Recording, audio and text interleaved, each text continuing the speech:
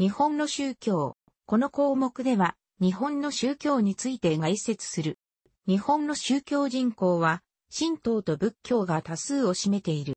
宗教の信者数は、文化庁、宗教年間平成29年版によると、新統計が8473万9699人、46.5%、仏教系が8770万2069人、48.1%、キリスト教系が191万4196人、1.1%、諸教、神道系、仏教系、キリスト教系以外であるもの791万440人、4.3%、合計1億8226万6404人となり、これは日本の総人口約1億2600万人のおよそ1.5倍に当たる。したがって、複数の宗教の信者として数え上げられている国民が確実にいることになるが、一方で個々の国民へのアンケート調査などでは、何らかの信仰、信心を持っているあるいは信じている人は2割から3割という結果が出ることが多く、逆に総人口を大幅に下回る数しか宗教の信者がいない、または信者であると思っていないということになる。こうした数値になる要因として以下が挙げられている。神道系、仏教系、キリスト教系、諸教の種別についても便宜上の整理に過ぎない。宗教統計調査に際して文化庁が一定の判断をしているが、4つの項目の中から各宗教法人が選択して自己申告しているものである。日本の宗教は4種類に大別されると文化庁が認定しているわけではなく、宗教学上の分類でもない。かつて教派神道であった天理教は諸教と届け出ており、この分類が必ずしも実際の教義や儀礼、信仰の要素、歴史的経緯等と一致するものではない。宗教を信仰しているかどうかという調査の場合は、また異なる数字が出ている。NHK 放送文化研究所による、イシュップ国際比較調査、宗教2008によると、あなた自身は何か宗教を信仰していますかという問いに対して、宗教を信仰していない、無宗教49.4%、仏教34%、神道2.7%、その他の宗教1.1%、プロテスタント0.7%、カトリック0.2%などとなっており、宗教を信仰していない人49.4%に対して宗教を信仰している人は38.7%となっている。したがって、宗教を信仰している人の中では仏教が多数である。キリスト教信者は少数であり、かつその他の宗教、諸教の信者よりも少ないという点は、文化庁、宗教年間の宗教統計調査の数字とおおむね一致するが、宗教年間では仏教とほぼ同じだけ信者がいることになっている。神道を信仰していると思っている人は仏教にべ相当少ないということになる。なお、NHK 放送文化研究所の調査においては、伝統宗教と新宗教の区別はしていない。また、神の存在については、神の存在を信じない人は8.7%と少数であるが、神の存在に疑問を感じることもあるが、神は存在すると信じている人が11.9%、実際に神が存在することを知っており、神の存在に何の疑いも持っていない人は4.3%となっており、神の存在を積極的に肯定する人も少数である。一方、神が存在するかどうかわからないし、存在するかどうかを明らかにする方法もないと思う、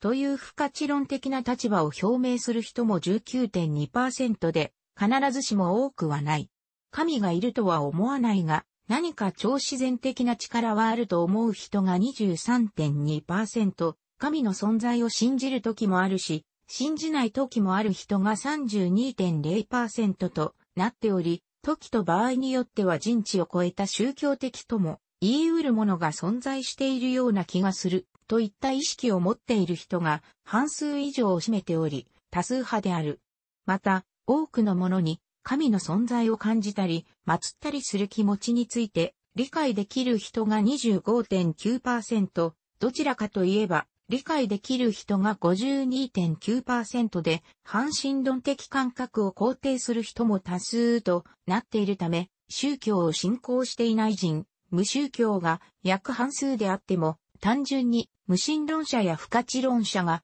約半数とは言えないという結果となっている。日本国憲法第20条に鳩の条文があり、日本では信教の自由が認められ、国境は定められていない。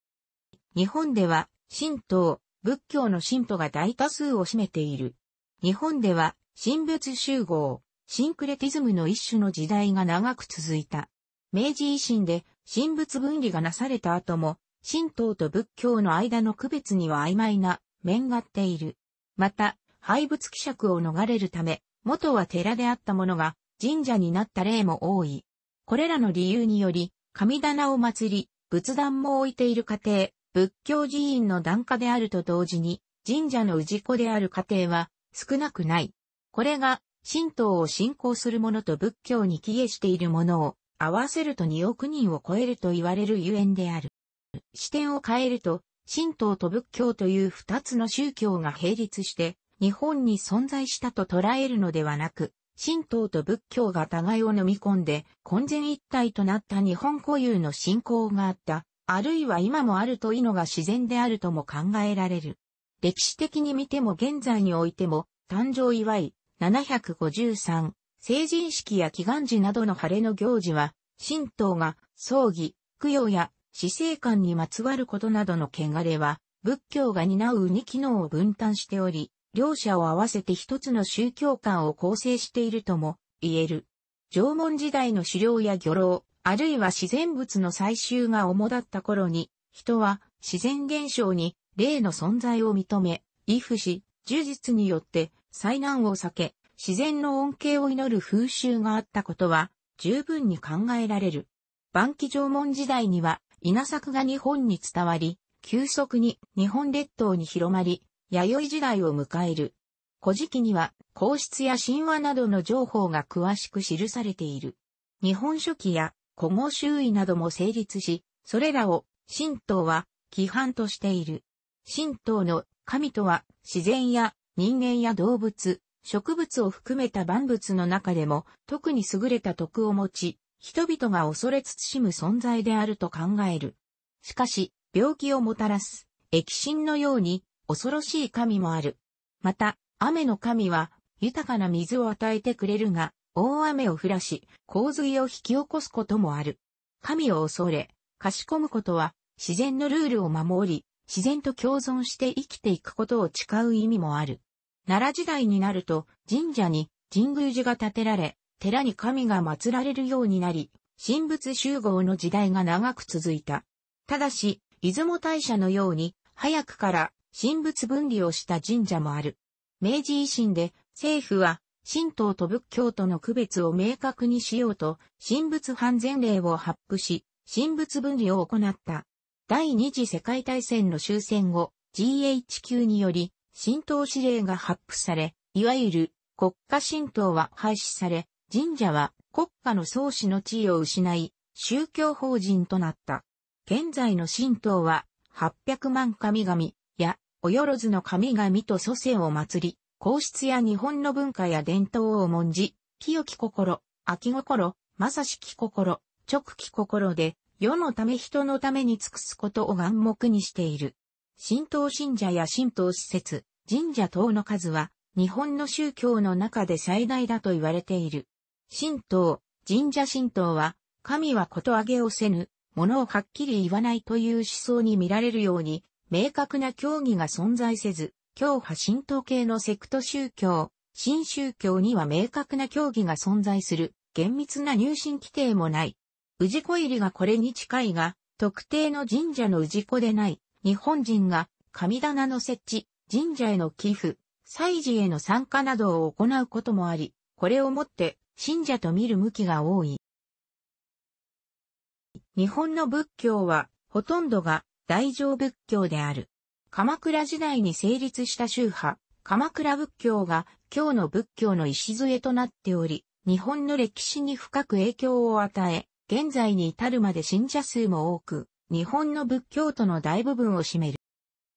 歴史を遡れば、仏教は6世紀に日本に伝来したとされている。奈良時代には、なんと六宗と呼ばれた三論宗、上実宗、宝生宗、苦社宗、立宗、華厳宗などが広まった。平安時代には、遣唐使と共に、唐、中国に渡り仏教を学ぶ層が多くいた。代表的な存在として、最長は帰国後に、法華経や密教を中心とした天台宗を開き、空海は太陽を神格化して生み出された大日如来を宇宙の中心と説く密教を学び、帰国後に真言宗を開いた。仏典には、釈迦が教えを説いてから千年間は正しく、教えが伝わり実践されるが、消防、その後千年は、教えが形骸化し、造法、造法の後は末法すなわち仏法を正しく聞くことができず、まさしく理解する者がいなくなるという、すなわち暗黒時代が到来するとの思想が記されている法思想。日本では平安時代、いくつか見方はあるものの1051年などに末法に入ったとみなし、すでに末法に入ったという痛切な意識は、人々の中にいくつかの動きを生んだ。一つの動きは、この世に絶望し来世の幸福を願い、阿弥陀如来にすがる信仰、浄土思想で、これは、貴族や貧しく力のない一般庶民の間にも広がり、この信仰に基づいた寺院が全国規模で建立された。すでに末法に入ったとされていた鎌倉時代、実際に世は戦乱や疫病で乱れ、人々は絶望の淵にいた。そうした人々の間では、南無阿弥陀仏と念仏を唱え続けることで、阿弥陀如来に救済され、極楽浄土に往生することができるとする法然の浄土宗や男尊女卑や女人不浄が当然と考えられていた時代に、男女平等や女人往生を解き、罪深い自分たちだからこそ、女性も男性もありのままの産方のまま浄土、往生できるとする悪人正気を説いた、親鸞の浄土真宗が全国に広がっていった。こうした後に日蓮は、末法に入ったからこそ、南無妙法蓮華行、法華行と日々題目を唱えることで殺に至ることができ、安寧を得ることができると説き、日蓮宗を開いた。これら方向性の異なる二つの主張は、それぞれ現代社会にまで続く大きな潮流を形作り、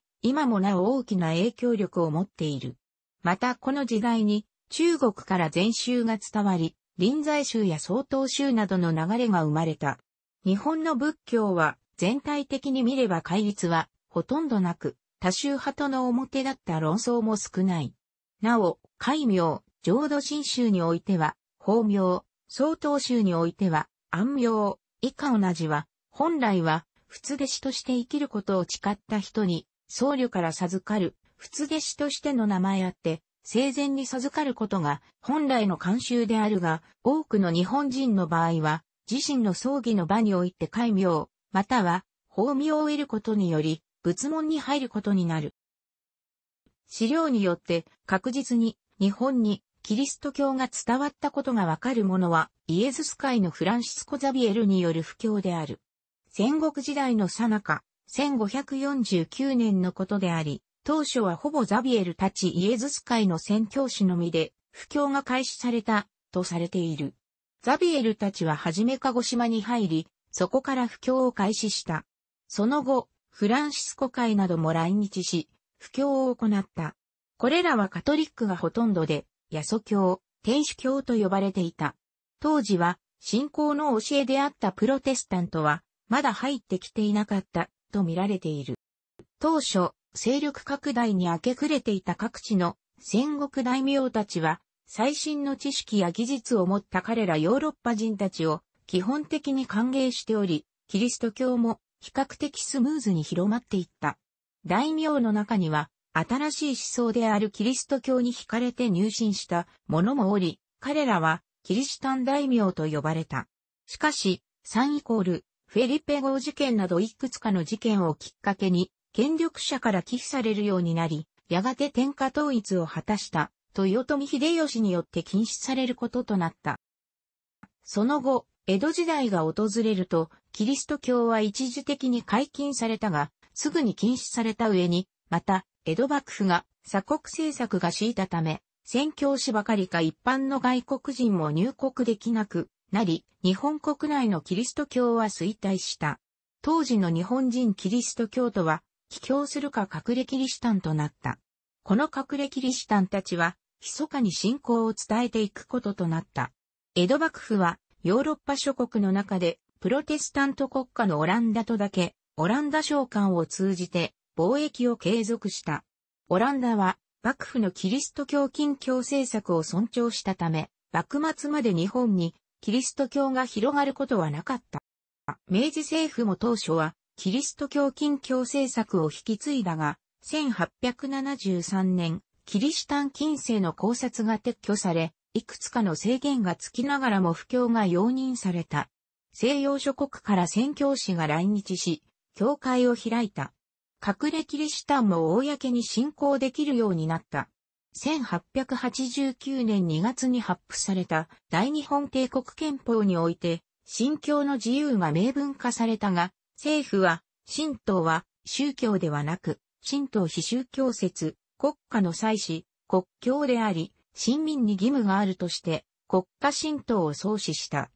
宮城洋杯が国民に義務付けられ、キリスト教団体もこれを受け入れざるを得なかった。教派神道、後に13派が、成立と仏教、13宗56派が、官庁のもとに、各教派、各宗派を組織した法的根は、1884年8月の大上官二つ第19号、神仏共同職を、廃止住職を任免主教師の東急身体破格、官庁に委任等の儀であった。しかし、キリスト教については、宗教行政上、神仏道以外の宗教としてこきれていたのみであり、法制度の外に置かれていた。近況が解かれたとはいえ、日本の伝統宗教とそうではないキリスト教の扱いには、なお少なからず差があり、西洋諸国との条約改正交渉の中でそのことが問題になった。そこで政府は1899年5月、キリスト教の宣教を正式に公認することを表明し、同年12月には仏教と神仏道以外の宗教を対象とする教法案を元老院に提出した。しかし今度は、ヤソと同列に扱われるとして仏教界の猛烈な反対があり、結局成立しなかった。キリスト教は法的根拠を持つ教団を創設できず、内村勘三による無教会主義の提唱など、日本独特のキリスト教信仰のあり方が生まれた。その後しばらく宗教団体に関する一般法は提案されなかったが、1913年6月、内務省の宗教局が文部省に移管され、仏教と神仏道以外の宗教が文部省の管轄となってから再び議論されるようになった。しかしその後も仏教界の反発が続いた。右余曲折があったが、戦時下の1940年に至り、教派神道も対象とした宗教団体法が成立した。この宗教団体法において、初めて神仏道以外の宗教ではなく、キリスト教という単語が使われ、包括団体として、神道の教派、仏教の宗派と制度上同様のものとして、キリスト教の教団が根本法の中に規定されることになった。この時、教派神道13派、国家神道に準じた特権的地位のいくつかは廃止と、仏教13宗56派、28宗派に、整理統合ととに、カトリックの日本天主公共教団とプロテスタントの日本キリスト教団の2教団が文部大臣より認可された。これによって、初めて国法上の宗教団体、かつ法人たるキリスト教教団が成立し、強制の差こそ大きいものの、キリスト教が教派神道、仏教と法的に同じ地位を得た。この枠組みが戦後も継承され、神道、仏教、キリスト教の三つとそれ以外、諸教という現在の宗教行政上の分類となっている。第二次世界大戦敗戦後、日本国憲法の制定により憲法第20条のもと、日本ではほぼ完全な形での信仰の自由が保障された。明治時代以来、キリスト教は西洋文化の一つとして日本の文化に様々な影響を与えている。一般化されたクリスマスなど、キリスト教由来の年中行事のみならず、布教の一環として、キリスト教の教団や宣教師らによって開設された学校が現在まで存続していることや、文化財に指定されている、教会建築物、宣教師が開いた、避暑地、軽井沢なども知られてを、日本にキリスト教が存在し、一定の活動を行ってきたこと自体は、日本の社会に認識されていると言える。しかし、キリスト教の信者、クリスチャンそのものは、プロテスタント及び、日本聖公会、オーソドックス、東方正教会、カトリックのすべてを合わせても、日本人全体の1%前後と言われている。文化庁、宗教年間平成29年版では、キリスト教系の信者数は191万4196人、割合で1.1%となっている。東京キリスト教大学国際宣教センター日本、宣教リサーチ、JMR 調査レポート2017年度版記載のキリスト新聞社、キリスト教年間2018によるデータでは、2017年の日本のキリスト教人口は97万6434人、日本の全人口のうち0.82%となっている。いずれにしてもこの割合は近隣のアジア各国と比較しても際立った低さである。これに匹敵するタイ、ラオス、ネパールなどの国もある。日本のキリスト教団体の多くはヨーロッパやアメリカはもちろん韓国、中国、台湾、ベトナムと比べても小規模である。特に地方のプロテスタント教会では信徒が10名に満たない団体も多くありする。教団単位では日本発祥の新宗教で戦後強制を伸ばした創価学会、交渉827万世帯、実数は不明、立正厚生会272万5561人。は単独で日本の全キリスト系信者数を上回っている。また、カトリック教会の信者数は44万1107人で、日本のキリスト教主流派及び、キリスト教系新宗教すべてを含むキリスト教系教団の中では最大勢力とみられるが、宗教教団全体では、アマテラス公大神宮教47万9067人、成長の家45万9531人、遠納教44万9090人などの日本発祥の新宗教を下回る強制に止まる。キリスト教最大の教派であり、世界最大の宗教教団と目されるカトリックが日本においては、霊友会127万2581人、天理教119万9955人、仏書五年会教団111万5343人、パーフェクトリバティ教団 PL 教団81万8467人、明智会教団68万5145人、世界旧聖教60万4015人など、世界的な広がりという点では、到底及ばない、新宗教各教団の勢力を大きく回っているという事実は、日本では、キリスト教が広まっていないということを端的に象徴している。こうした数字からも、日本のキリスト教系信者の割合が小さいことが見て取れる。また NHK 放送文化研究所によるイシュップ国際比較調査、宗教2008によると、日本人の日常の宗教的行動においても、キリスト教が果たしている役割は、神道、仏教に比べて微小である。初詣に行くことについて、よくする人が54.9%、したことがある人が36.7%、お盆やお彼岸に墓参りをすることについて、よくする人が65.8%、したことがある人が28.4%、神社で参拝をすることについて、よくする人が26.2%、したことがある人が53.7%となっており、神社参拝や寺院参詣に行ったり、各家々の神道や仏教に関わる行事に参加した経験を持つ日本人が大半であるのに対し、教会の礼拝に行くことについて、よくする人は1.4%、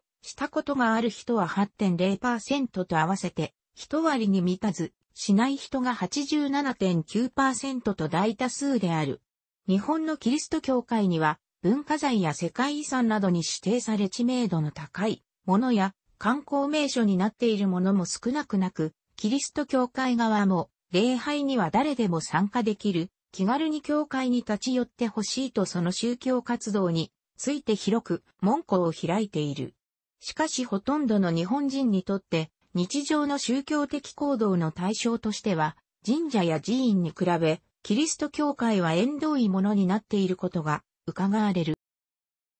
神道、仏教に加えて宗教として意識されることは少ないものの、葬儀、死生観を中心に、儒教も大きな影響を残している。祖霊信仰などの観念は現在では仏教に組み込まれているが、本来は仏教哲学と矛盾するものであり、古来の民間信仰と儒教に由来する。位牌、法事など先祖供養に関わる重要な習慣が、主にその形式において、儒教起源である。思想、道徳、政治的規範としての儒学は、支配階級を中心に学ばれ、明治時代以降は、一般庶民にも直接、間接に影響を与えた。新宗教とは、幕末、明治以後、近現代に成立した宗教であり、統一した教義や戒律などはない。新興宗教とも呼ばれる。民間信仰的要素は歴史的経緯もあり、複雑な要素をなしている。これらは主にアニミズムを基盤としており、社殿以前の岩倉や山岳信仰などに顕著であるが、神仏集合の影響も受け、形を変えて受け継がれているものも多い、同祖神と地蔵菩薩、恵比寿信仰など、密教などの影響を受け、仏教や神道の枠に収まりがたい発展を遂げた宗教には、修験道、陰陽道、山岳信仰などがあり、真言だらに役読を積んだ法力への期待から、御霊会など、音量の鎮魂を担っていた。現代でも地鎮祭などにはこの考えが残っている。上記以外の信徒は稀であるが、日本国内に外国人主体の宗教施設を持つ教団は複数確認され、それらの宗教の信徒との結婚などで改宗した人々も存在する。世界的に有力な外来宗教では、イスラム教信者が約12万人から18万人、バハーイ教信者が約1万2000人、ヒンドゥー教信者が約5000人、ユダヤ教信者が約2000人、シク教信者が約2000人であるという。また、中国三大宗教の一つとされる道教の寺院、道館や日本人が設立した道教の団体もあるが、信者と呼べる人の数は不明である。日本人のイスラム教徒人口は様々な数字が出されているが、いずれも正確な数字ではない。日本には国内のイスラム教徒の動向を把握している統一された組織や団体が存在しないためである。5万人とする説もあれば、20万人近い数字を挙げる者もいる。いずれの数字もかなり多めに見積もられた数字だとも考えられ、実際に日本国内でイスラムを実践している日本人信徒の数は数百人から多くても千人は超えないのではないかとも言われている。宗教法人日本ムスリム協会は日本国内のムスリムの数を10万人前後としており、これは日本の全人口の0.08%に満たない。日本は韓国と並んでアジアでは最もイスラム教が普及していない国の一つであり、現地人、日本人が主体になって運営されているイスラム教組織や宗教施設はほとんど存在しない。タイ南部、フィリピン南部、ベトナム南部のようなイスラム教を信仰する少数、民族が住む地域もなく、中国の海賊やインドのムスリムのような現地の文化や言語、民族に同化したイスラム教徒の集団も存在しない。日本国内に存在するイスラム教組織や宗教施設の信者の大半は、パキスタン人、バングラデシュ人、トルコ人、インドネシア人、スリランカ人、イラン人などの在日外国人と、その日本人配偶者でる。大半がスンニー派であるが、その中でも、ハナフィー学派とシャーフィー学派が日本には多い。パキスタン、バングラデシュ、トルコなどの出身者には、ハナフィー学派の信者が多く、インドネシア人、スリランカムーア人などにシャーフィー学派の信者が多い。ハナフィー派は比較的自由な解釈を行う学派であり、シャーフィーはそれよりもクルアーンなどイスラム法に解釈重きを置く。両者は対立することはなく、互いに尊重し合い、一緒に礼拝しているが、礼拝の方法や対立に小さな違いが見られる。宗派や学派の違いとは別に、トルコ出身者は日本国内においてもトルコ共和国内で採用された暦を採用するものが多く、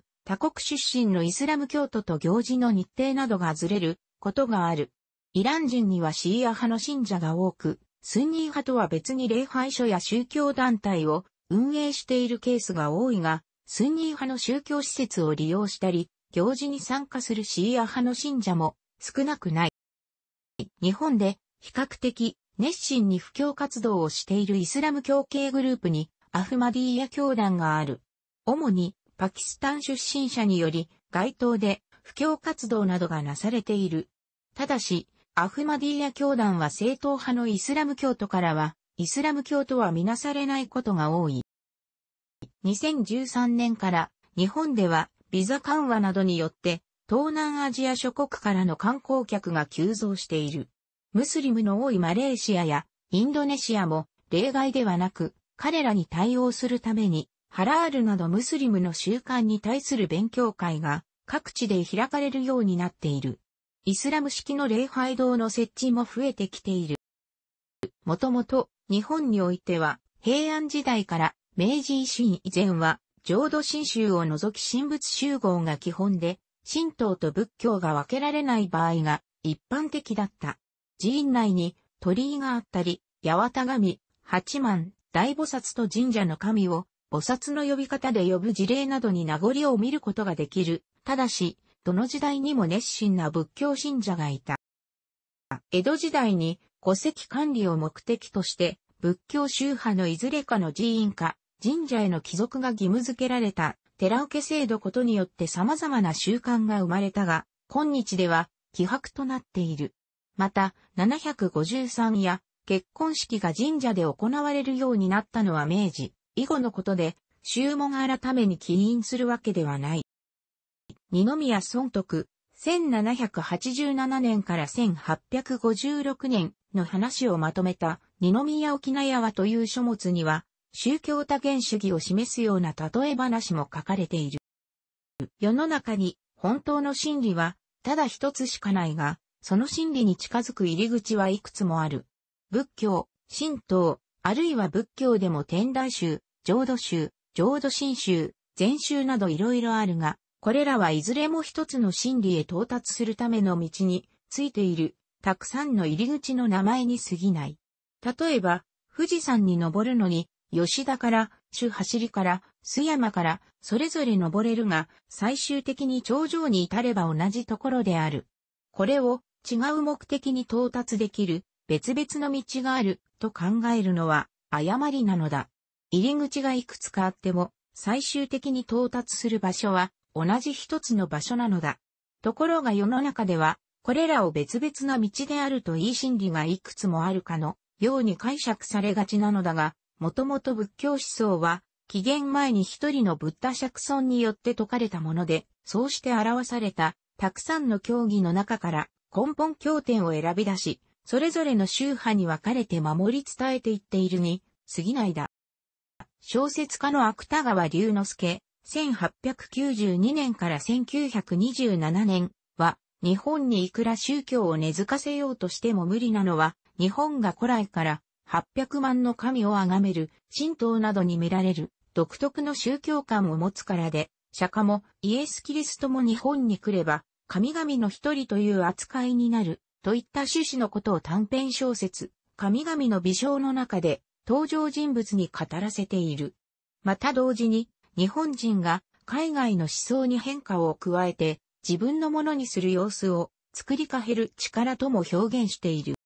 小説家の伊沢元彦は日本には無意識の強烈な音量進行と音量を発生させない和への進行があり、神道はその上に成立し、仏教も結局は音量を鎮魂するための道具として活用されたと説している。来日した外国人や熱心な宗教信者となった日本人は多くの日本人が無意識のうちに和を市場のものとする思想を持つことを見出すことができるという。また伊沢は日本人の持つ言霊への得意な信仰を見出している。読売新聞が2005年8月6日、7日に言った宗教に関する世論調査では、宗教を信じていない、無宗教あるいは無神論という選択肢を選んだ人が75%に上り、信じているを選んだ人は23%と、1979年の調査の34%と比べて11%減った。神やフッツにすがりたいと思ったことがあるかに関しては54%の人があると答え、44%の人がないと答えた。宗教を信じていないを選択した人でも47%があると答えた。幸せな生活を送る上で宗教を大切に思うかに関しては35%の人が大切に思うを選び、60%の人が思わないを選んだ。現代の日本人の大多数は実際にはいわゆる宗教儀礼に参加してはいるものの、特定の宗教組織に対する貴族意識は薄く、自分のことを無宗教と考えるものも多い。この場合の無宗教は、神やフッツの存在を否定する無神論とは異なり、何かしら、それなりに信じているが、それを宗教とは認識していない、また特定の宗教組織や教義に全人格的に帰属してはいいということである。日本において宗教団体は宗教法人として法人格を得ることができる。宗教法人の認証は宗教法人法に基づいて行われており、主たる事務所の所在地を管轄する都道府県知事が行う。ただし、他の都道府県内に境内建物を備える場合や他の都道府県内にある宗教法人を包括する宗教法人の場合などは文部科学大臣が認証を行う。認証の後、事務所の所在地において設立の登記をすることにより成立する。ただし、民間信仰や新宗教などの宗教団体は宗教法人格を得ていない場合も多い。2016年12月31日現在、日本には総計18万1497の宗教法人がある。内文部科学大臣所轄の宗教法人は、神道系219、仏教系461、キリスト教系322、諸教109となっている。都道府県知事所轄の宗教法人は、神道系84,771、仏教系76,875、キリスト教系4439、諸教14,301である。楽しくご覧になりましたら、購読と良いです。クリックしてください。